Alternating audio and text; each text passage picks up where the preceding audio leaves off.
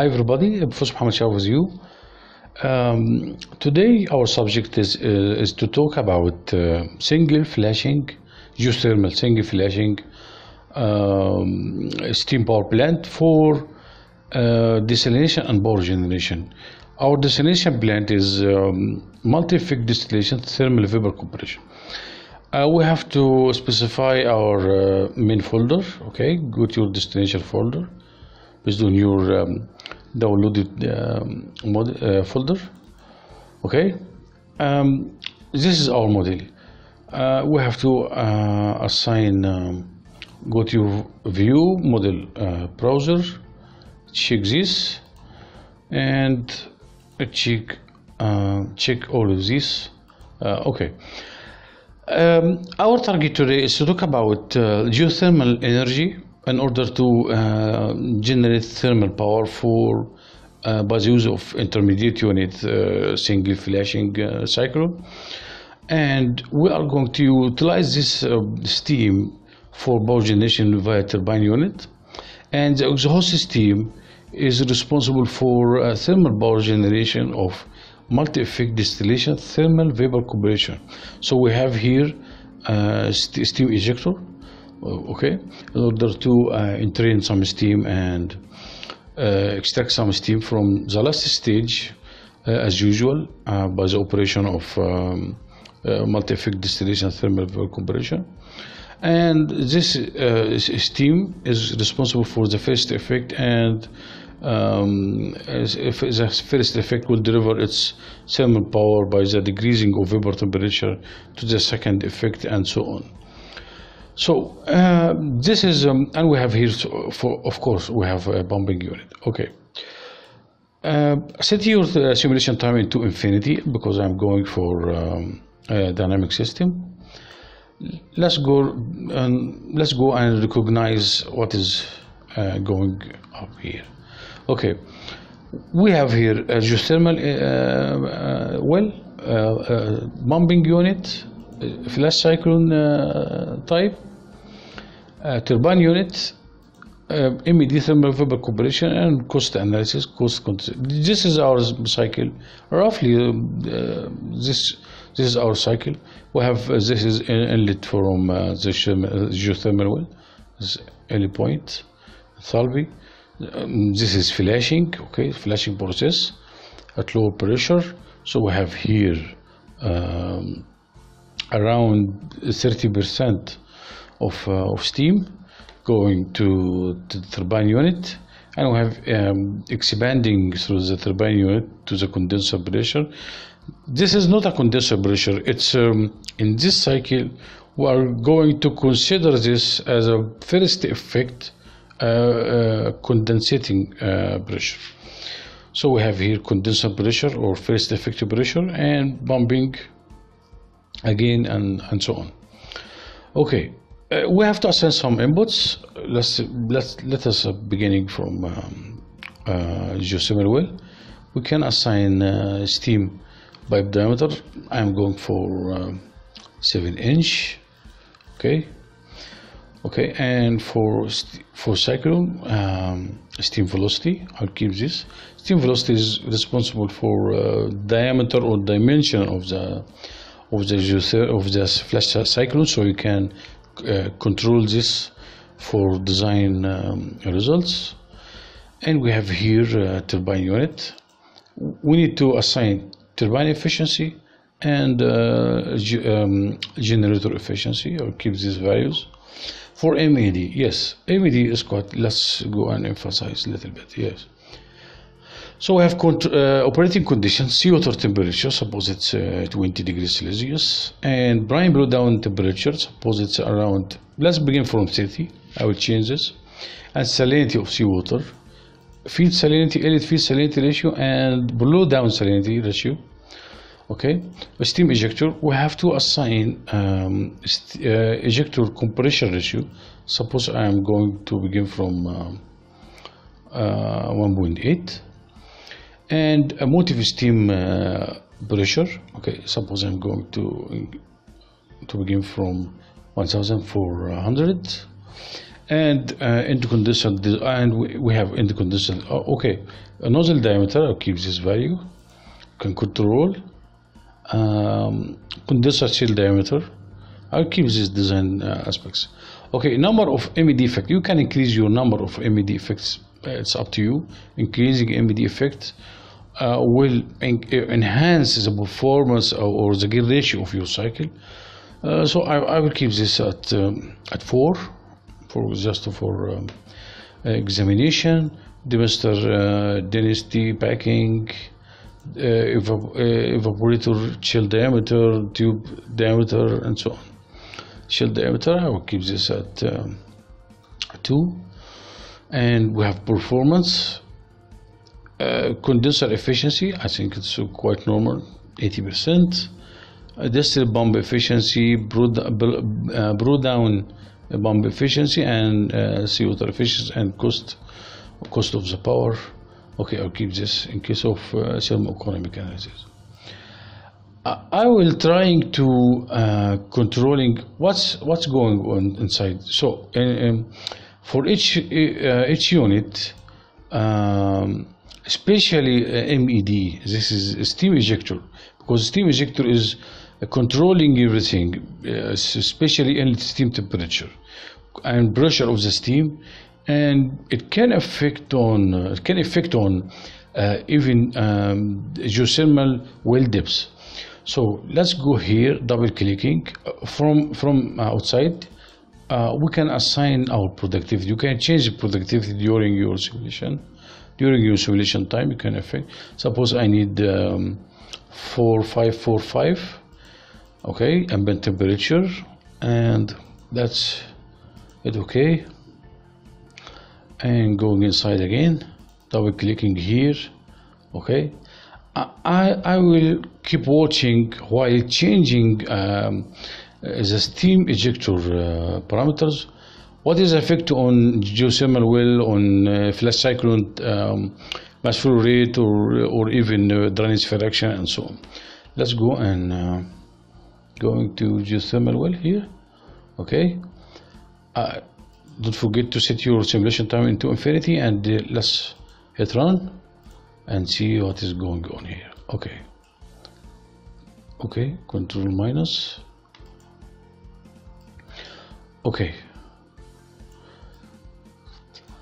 I, will trying to increase uh, ejector compression ratio. So increasing ejector compression ratio as you can see here will reduce well temperature and the total cycle uh, mass flow rate is increasing okay? Increasing uh, uh, ejector. Okay let's go and uh, increasing so as you can see here increasing motive steam pressure just means you are going to increase uh, the top steam temperature. So this is responsible for um, uh, uh, for well temperature. This means that you are going to dig more and more. So as you can see here well depth well depth is increasing 2 kilometers 2.7 2.7 okay I'm going up to 2500 let's go inside the uh, flash cycle. Let's go and watch what's going on with the okay drainage fraction. Okay the drainage fraction yes. Suppose I, I, I I would like to um, increase brine blow down temperature. Is any effect? Yes slightly effect. It will decrease increasing brine blow down temperature will decrease uh, the flashing uh, uh, uh the drainage fraction okay? Let's go for enough for uh, 45 uh, let's go for ejector again. Decreasing ejector compression ratio would yes increase the flashing again. Let's go and increasing ejector steam ejector up to 3 okay let's decrease um, okay ejector motive steam pressure and trying to decrease to 16 bar 15 bar. This effect on uh, it will be noticed on your um, uh, turbine unit as you can see here. Decreasing. Would decrease the power developed from the turbine unit if you decrease this you will decrease the power developed from uh, the turbine unit. Okay that's enough for this. That's enough. I hit stop. So um, it's completely uh, under your control. Um, uh, we have MED we have steam ejector controlling the design of steam ejector will control the power developed from the turbine will control the well depths uh, will control the top cycle temperature steam temperature. Uh, dryness fraction through the, the outlet dryness fraction from the from the turbine unit. This is outlet. And we have flash cyclone dryness fraction. We have two dryness fraction. We have this one. We have this one.